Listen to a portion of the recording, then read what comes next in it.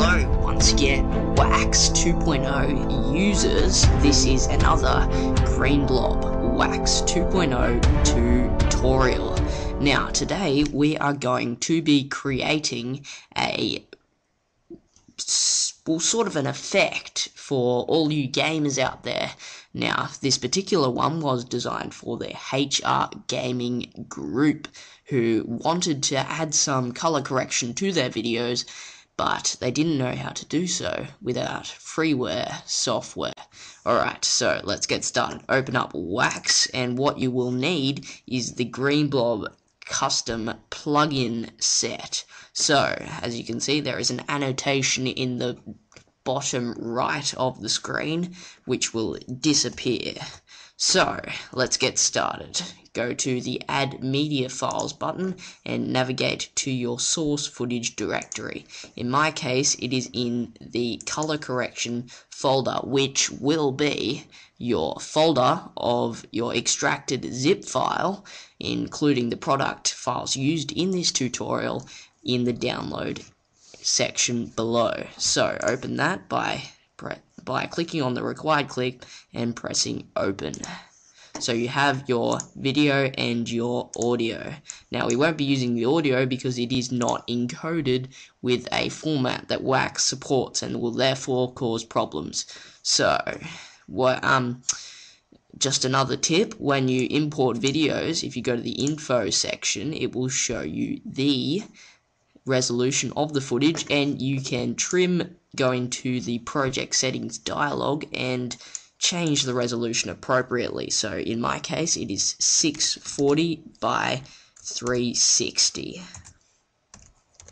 and the frame rate is 30 frames a second. So as you can see our video size has adjusted. Now just drag the timeline up here, up here. So what we're going to be doing is we are going to be color correcting this gaming clip which I've actually, which is actually the a little bit of the tutorial level of the first of the fourth Call of Duty game, and we are going to be color correcting that so it looks awesome. So drag the clip down onto the timeline, and you can see as we move around. And because the clip is low resolution, it plays completely smooth with no choppiness at all. So we can just play it right through and we have no hassles. So, let's get started. Now, you will need the Green Blob plugin pack. If you didn't get it before, I'll bring up the annotation again. So just click in the bottom right corner on the annotation and grab the Green Blob plugin pack. Well, actually, the link is to the tutorial, but, you know, you'll get it. Alright. So, let's get started. Go to the free frame plugins tab of the visual effects tab. Now we have all of these things, all of which are found within the Green Blob plugins pack. So, drag down the levels adjustment to the timeline. As you can see, it hasn't adjusted it yet, so just move to a position which you find good for color correction. In my case, I shall move to 8 seconds. So we have a good complicated scene. Maybe we'll switch this up to best quality full just, you know, get a bit of a better idea as to what this clip looks like. So, we have our nice color correction. Now, what you got to think in your head when you're doing things like this is what color do you want to symbolize in your footage? In my case, because it's a nice part of the story, I am going to use green. So, expand the levels preset on the timeline and tick the auto button.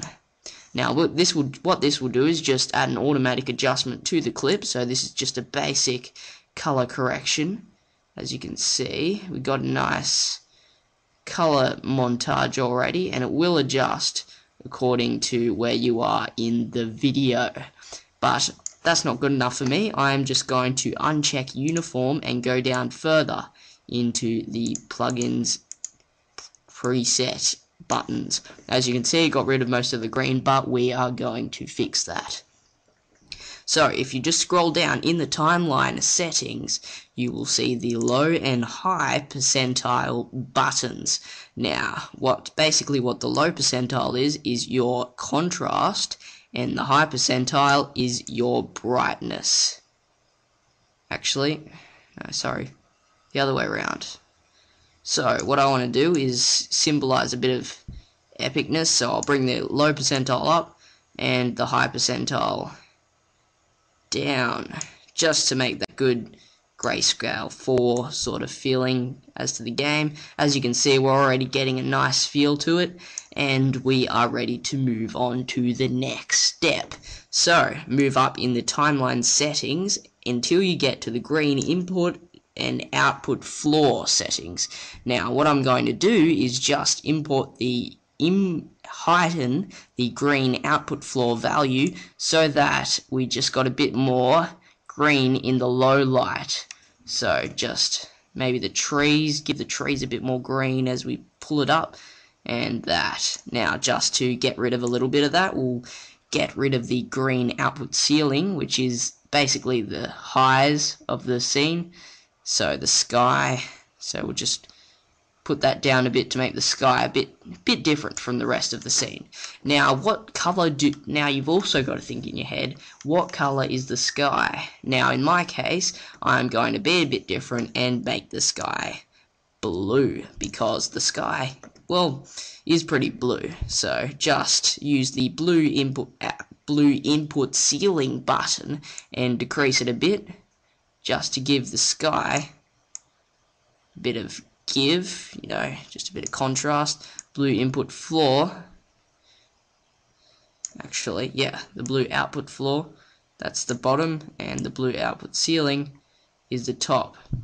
So if we move that down, we get the green color, and if we move it up, we get our nice blue. So just decrease the blue output ceiling until you're happy. I'm going to leave it at this value. So now let's move around in this clip.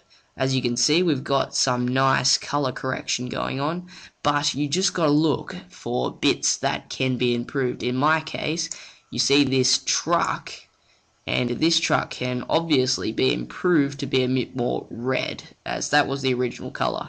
So, we'll just get to a good time. That seems to be a good time as the truck is in full view, and we will go to the red output and input settings. So just just rise the input floor give that a little bit of red and the inputs the input ceiling is a bit down the output ceiling a little bit down actually up so we have a nice effect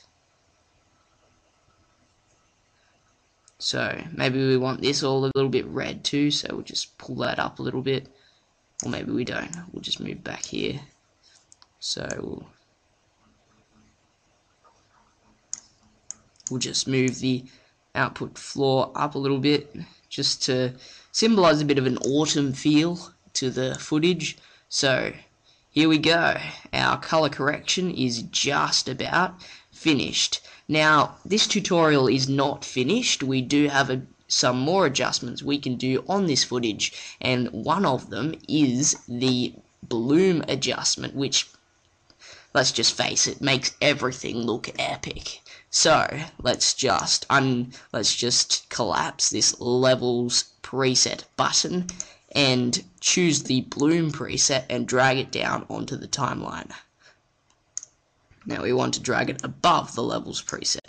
So as you can see we've already got a nice feel to it, a good bloom, but of course you can change these settings if you would like. So let's just move to that part with the truck again. As you can see it's a good part because we have the nice sky and the truck.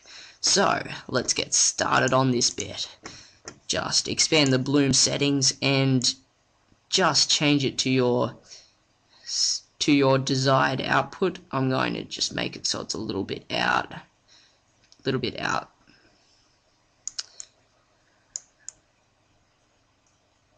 But not too much, so we got a nice feel.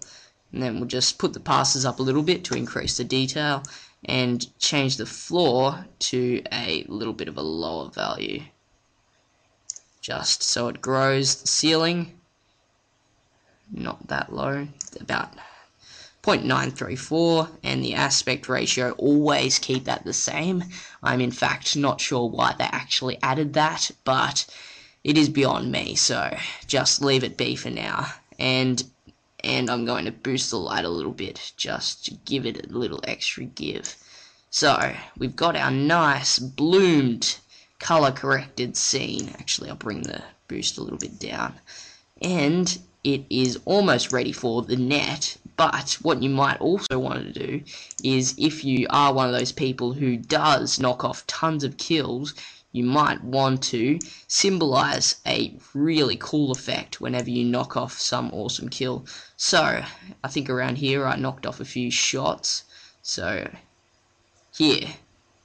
Now, what you want to do is you're aiming down the sight, and you want to just symbolize that epic moment when you kill someone. Just give it a little bit of give. So what we can do for that is we can add the directional, oh, no, sorry, not the directional, the radial blur preset and drag down onto the timeline above everything else.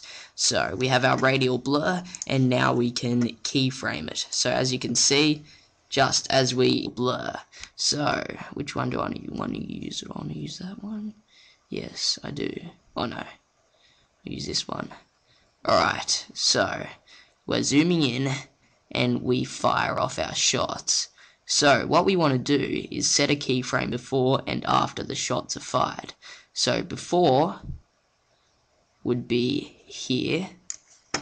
So we'll just choose the keyframing switch and then set it to linear. And then we will just modify the value a little tiny bit. And then we will move forward to when the shots are fired. Set the value higher so that would be here. Set the value to maybe that, 455, and then go to after the shot's been fired and set it back to zero. So we have a nice bang as per the bullet being fired. So let's just preview that. So kind of a screen warp, if you suppose, but then again, some people with their clips also want a bit of a slow-mo effect. So, what we can do to symbolize that, actually, drag back to here, because it's a good shot. So, we'll go this shot, bang. So, just go here,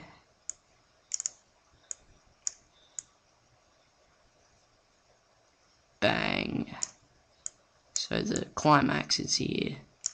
And then after the shell gets discarded, it goes back to its original form. So bang, bang, bang.